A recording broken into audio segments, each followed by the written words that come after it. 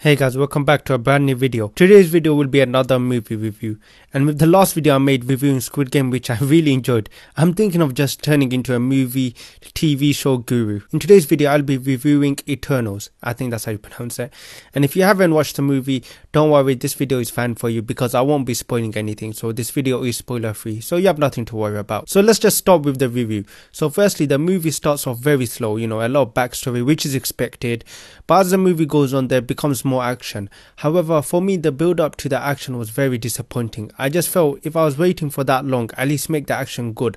But I don't know, I just didn't feel like the suspense was worth it at the end. Also, in terms of the storyline itself, I think the plot and the plan was planned well, but the execution of the movie just lacked. But hey, that's my opinion.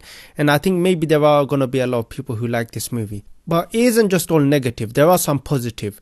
You know, for example, there was a lot of humor in the movie. I think they implemented the jokes at the right time. The CGI, I mean, it's a Marvel movie, so there's no point of even discussing it. But the CGI, yeah, was really good. They also answered a lot of questions for people who probably just never heard of them or ever seen them, you know. And for me, this was very helpful because it also answered a lot of other questions I had about them. So for me, that was really good they did that. But overall, I would rate this movie a disappointing 5 out of 10. I was quite disappointed with it.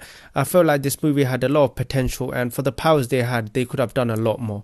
You know, it's the Eternals, they're stronger than the Avengers. And yeah, for me, it was just quite disappointing. But look, it's up to you. You know, you go watch the movie, you form your own opinion, and maybe you'd probably like it. And if you're not gonna watch the movie, look, you're not gonna miss out on anything, honestly.